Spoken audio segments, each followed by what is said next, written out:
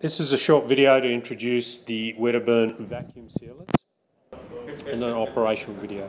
To start the machine, simply press the on off key for about two seconds and the LED display will light up. You're able then to change the parameters of the program. You're able to change the vacuum uh, parameters by simply pressing up and down keys.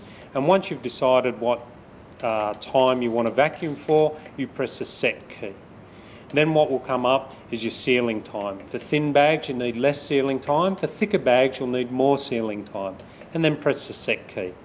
This machine also comes standard with a gas reflush option. Simply choose your time for gas reflush and press set. Now that's the first program. This machine comes standard with 10 programs. So you're able to change those by simply holding in, choosing the program you want and holding in the set key. It'll also come standard with these chopping boards. These chopping boards make it easy to seal smaller bags. Also comes with pneumatic piston sealing bars.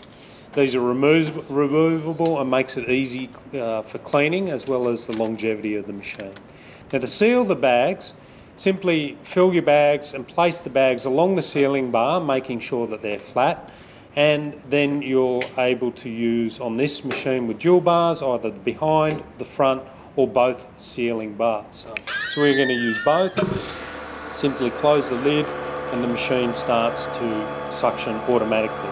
Now our machines work at 99.9% of an actual vacuum, removing just about all the oxygen so the food lasts at at least three to five times longer than conventional packaging uh, machines. Thanks for taking the time to listen and watch our video on the Wedderburn food processing vacuum